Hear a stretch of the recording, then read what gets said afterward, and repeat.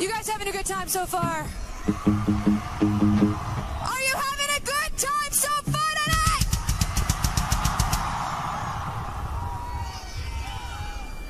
This next one's one of my favorite songs off our new album. This is called The Change.